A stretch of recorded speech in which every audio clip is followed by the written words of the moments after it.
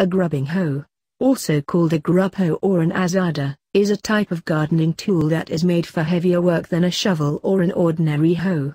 This particular garden hoe is weighted and comes in a variety of sizes, suitable for different users and different applications. It works well on tough sod, weeds and hard soil. Like the more conventional garden hoe, a grubbing hoe consists of a long wooden handle with a perpendicular blade attached to one end.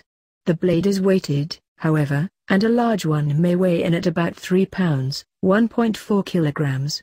For best results, the length of the handle should be much to the height of the user. When using the grubbing hoe, the user grips it firmly with one hand at one end, and the other one further down the handle. He or she raises the hoe up to waist height, then chops straight down into the soil. The idea is to let the weight of the blade do most of the work, and the user needs only to lift and drop repeatedly to break up tough soil, remove sod or dig up weeds and tree sprouts. The grubbing hoe comes in two basic styles. One type has a sharpened blade on one side of the handle, and does not have any kind of backside to it. The other type has a sharp, pick-like side opposite the blade of the hoe. This arrangement is similar in appearance to a claw hammer, and is common on older grubbing hoes.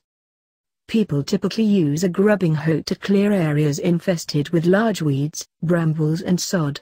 Because the grubbing hoe is both sharp and weighted, it is able to handle such heavy work with a minimum of strain and effort on the part of the user. The chopping motion of the weighted blade cuts through roots, stems, grass and soil quite easily, and many people prefer to use a grubbing hoe instead of a tractor or tiller. Other uses for the grubbing hoe include chopping up soil and compost for gardens, and digging trenches. Open trenches of reasonable depth and a consistent width are easy to dig with this type of hoe, even in hard soil. These can then be used as waterways to provide irrigation for gardens, or as a place to lay pipe or conduit for garden and yard projects, saving a lot of money over renting or buying a power trenching tool or similar device.